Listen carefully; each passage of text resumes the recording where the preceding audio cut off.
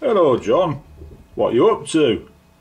Well, I've been scouring the second-hand shops for a tape I rather like. I found it yesterday. Would you like to hear it? Yeah. go on then.